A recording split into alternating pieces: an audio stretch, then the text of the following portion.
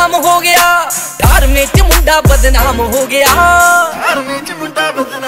गया।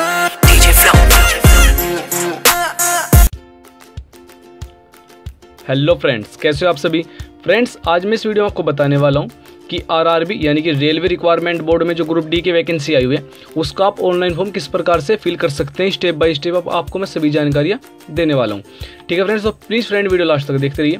Friends video शुरू करने से पहले आपसे एक रिक्वेस्ट है। अगर वीडियो में आपको कुछ भी अच्छा लगता है तो प्लीज़ लाइक कर दीजिए। अगर आपका डिसलाइक करने का मन है, वो भी आप कर सकते हैं। अगर फ्रेंड्स आप डिसलाइक करते हैं तो प्लीज़ रीज़न बता कर जाना। ठीक है फ्रेंड्स तो फ्रेंड्स अप्लाई करने के लिए आपको सबसे पहले कोई ब्राउज़र ले लेना है, उसमें गूगल ओपन कर लेना है। ठीक है फ्रेंड्स गूगल ओपन करने के बाद आपको यहाँ पर टाइप करना है आर आर बी और एंटर कर देना है। ठीक है फ्रेंड्स अब देखिए फ्रेंड्स आपके सामने जो पहली वेबसाइट है, यानी कि ऑफिशियल वेबसाइट है तो आपको इस पर क्लिक कर देना है। जैसे आप यहाँ पर क्लिक करेंगे तो आप इनकी रिक्वायरमेंट की वेबसाइट पर आ जाएँगे। ठीक है फ्रेंड्स तो आपको यहाँ पर इसमें जहाँ पर दिखा गया है name of R R R B S ठीक है फ्रेंड्स तो यहाँ पर इनकी सभी ऑफिशियल ऑफिशियल वेबसाइट है जोन वाइज तो आपको यहाँ पर कोई सी भी सिलेक्ट कर लेना है। करने के बाद आपको जैसे आप क्लिक करेंगे तो जैसे कि अहमदाबाद की ऑफिशियल वेबसाइट ओपन हो चुकी है, इसी प्रकार से आप अदर की भी ओपन कर सकते हैं। करने के बाद आपको यहाँ पर क्लिक करना है, आवेदन के लिए यहाँ क्लिक करें। क्लिक है to apply for C N zero two two zero one eight ठीक है फ्रेंड्स तो आपको इस पर क्लिक कर देना है। जैसे आप क्लिक करेंगे तो आप इनकी रिक्वायरमेंट की वेबसाइट पर आ जाएँगे। अब देखिए फ्रेंड्स आपको उसमें सभी जानकारी मिल जाएगी, जैसे कि यहाँ पर न्यू रजिस्ट्रेशन ओटीपी आएगा आपकी ईमेल आईडी पर। ठीक है फ्रेंड्स और यहाँ पर कैंडिडेट लॉगिन प्रिंट एप्लीकेशन और एप्लीकेशन मॉडिफिकेशन ठीक है फ्रेंड्स अब आपको फ्रेंड्स अगर आपको इसको निर्देश पढ़ने हैं, किस प्रकार से आपको अप्लाई करना है तो आपको इस पर क्लिक करना है ऑटो अप्लाई अब आपको रीड कर लेना है। इसमें आपको सभी डिटेल वाइज जानकारी दी गई है। तो फिर से आपको होम पर आना है अप्लाई करने के लिए और यहाँ पर न्यू रजिस्ट्रेशन पर क्लिक कर देना है। जैसे आप क्लिक करेंगे तो आपके सामने जिस जोन में ये वैकेंसी आई हुई, वो जोन आपके सामने ओपन हो जाएगी। जैसे कि अहमदाबाद है अजमेर है, इलाहाबाद है, बेंगलुरु है, चंडीगढ़ है, इसी प्रकार से आप चेक कर सकते हैं। और फ्रेंड्स एक बात और है, अगर आप अहमदाबाद में सिलेक्ट कर रहे हैं तो एक ही जोन में अप्लाई कर सकते हैं। या अगर आपने एक जोन सेलेक्ट कर लिया, जैसे कि चेन्नई आपने सेलेक्ट कर लिया है, और बाकी आपने तीन में और सेलेक्ट कर लिया है ठीक है फ्रेंड्स तो आपके चारों के चारों फॉर्म्स कैंसिल हो जाएँगे। इसलिए आपको एक ही जोन सेलेक्ट करनी है और उसी में आपको अप्लाई करना है। ठीक है फ्रेंड्स तो आप वो जोन देख लीजिए जिसमें अच्छी सी वैकेंसी आई हुई है। जैसे कि चंडीगढ़ में सबसे अधिक वैकेंसी है तो मैं इसमें ही आपको अप्लाई करके दिखाऊँगा। आपको अप्लाई करने के लिए आपको इस पर क्लिक कर देना है। जैसे आप क्लिक करेंगे तो आप इनकी रिक्वायरमेंट की वेबसाइट पर आ जाएँगे। आने के बाद फ्रेंड्स आपको इसमें नीचे डाउन आना है और उसमें आपको ये सभी जानकारी जो इनके निर्देश दिए गए हैं, वो आपको रीड कर लेना है। इसमें आपको सभी जानकारियाँ मिल जाएगी। टोटल इसमें छः स्टेप दिए गए हैं। अब फ्रेंड्स आपको यहाँ पर डिक्लेरेशन पर आपको क्लिक करना है। यहाँ पर दो दो प्रकार के दिए गए अब आपको इस पर सबमिट पर फिर आपको क्लिक करना होगा। तो यहाँ पर आपको क्लिक कीजिए और फिर आपको सबमिट पर क्लिक कर देना है। तो फ्रेंड्स आपके सामने जैसे आप क्लिक करेंगे तो आपके सामने का रजिस्ट्रेशन फॉर्म आ जाएगा। अब आपको ये फिल करना है। तो मैं पहले इसको फिल करता हूँ। फिर आपको आगे की जानकारी बताऊँगा।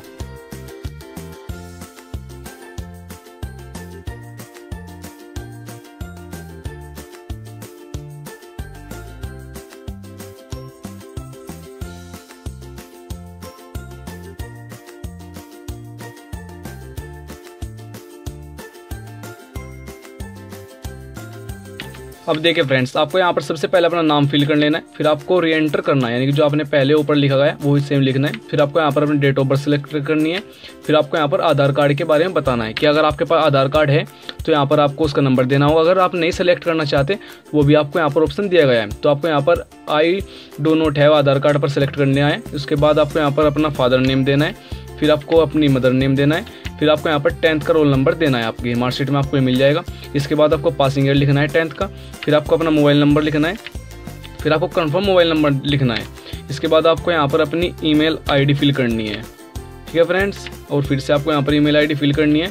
इसके बाद आपको जो कैप्चर है, आपको यहाँ पर ही फिल कर देना है। उसके बाद आपको डिक्लेरेशन पर क्लिक करना है। फिर आपको यहाँ पर क्लिक ही टू कंटिन्यू पर आपको क्लिक कर देना है। ठीक है फ्रेंड्स जो आप ये मोबाइल नंबर और ईमेल आईडी दे रहे हैं, या एक्टिव होनी चाहिए, यानी कि चालू होनी चाहिए, क्योंकि इनके पास इनके दोनों पर एक ओ भेजा जाएगा, वो आपको यहाँ पर फिल करना होगा।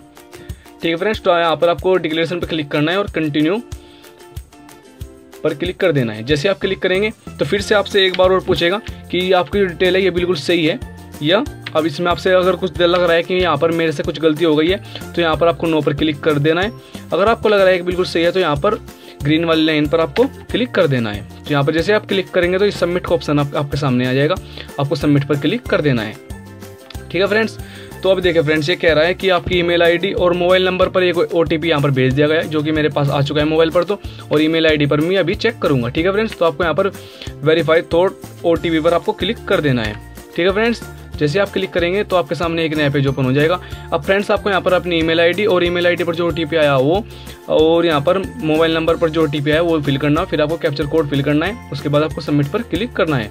तो मैं यहाँ पर ईमेल आईडी मैं देखता हूँ आया नहीं कुछ? अब देखिए फ्रेंड्स यहाँ पर आ चुका है आर में। आप यहाँ पर चेक कर सकते हैं। तो मैं आपको इसको ओपन करता हूँ। ओपन करने के बाद फ्रेंड्स यहाँ पर ओ टी पी रहा।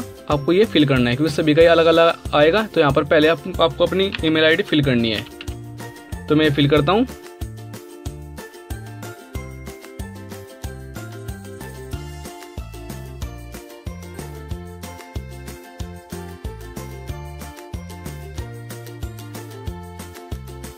अब देखिए फ्रेंड्स मैंने यहाँ पर ये जो ओ आया था मेल पर, वो लिख दिया है। फिर आपको यहाँ पर जो मोबाइल पर आया, वो फिल करना है और यहाँ पर अपनी ईमेल आईडी फिल कर देनी है। ठीक है फ्रेंड्स अब आपको एक कैप्चर कोड यहाँ पर फिल करना है। यहाँ से उठाना है और यहाँ पर ये फिल कर देना और इसके बाद आपको सबमिट पर क्लिक करना है। ठीक है फ्रेंड्स अब जैसे सबमिट पर क्लिक करेंगे तो आपके सामने आपका रजिस्ट्रेशन नंबर आ जाएगा। और आपके मोबाइल पर भी एक एसएमएस आ चुका है, मेरे पास भी आ चुका है। अब आपको ये नोट कर लेना है या आपको इसका प्रिंट निकाल लेना है। ठीक है फ्रेंड्स अब आपको यहाँ पर लॉगिन पर क्लिक करना है। मैं तो यहाँ पर मेरे फ़ोन पर आ चुका है तो मैंने यहाँ पर यहाँ से मैं ले लूँगा।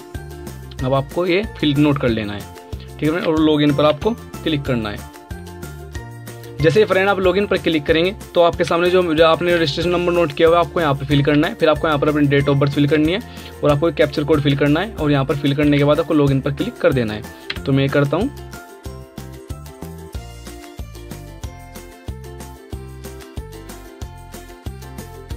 तो मैंने फ्रेंड से फिल कर दिया अब आपको लॉगिन पर क्लिक करना है।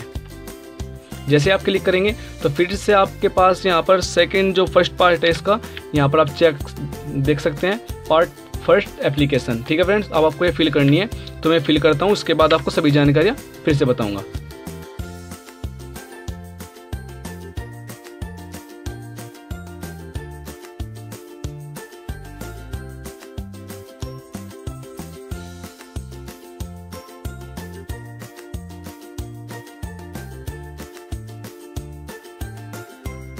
अब देखें फ्रेंड्स आपको यहाँ पर सबसे पहले अपनी क्वालिफिकेशन फिल करनी है। यहाँ पर आप चेक कर सकते हैं। इसमें आपको अदर अदर भी दी गई है कि जैसे कि आप टेंथ विद आईटीआई से करना चाहते हैं टेंथ विद एनएसी जो भी आपके पास हो तो मैं यहाँ पर दसवीं से आपको फिल करके दिखा रहा हूँ।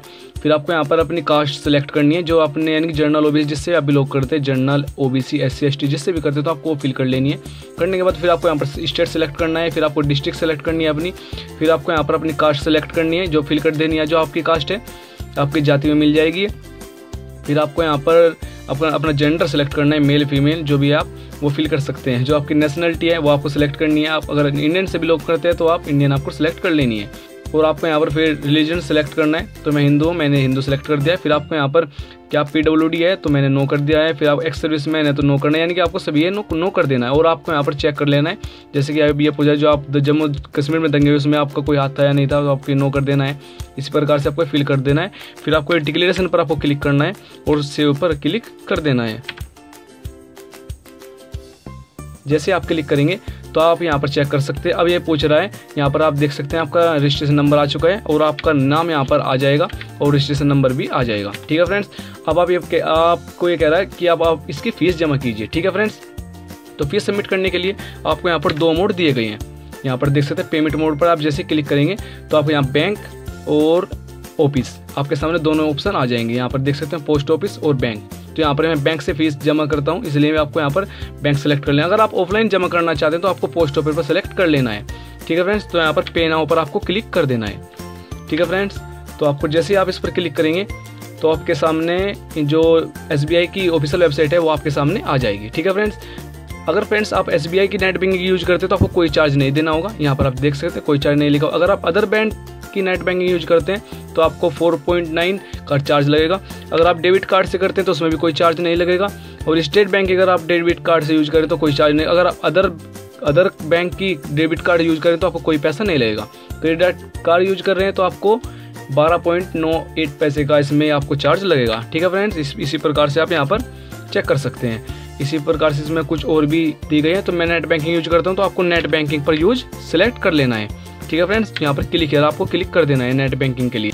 अब जैसे ही क्लिक करेंगे तो फ्रेंड्स, आप इनकी एक नई एसबीआई की जो वेबसाइट है उस पर आ जाएँगे।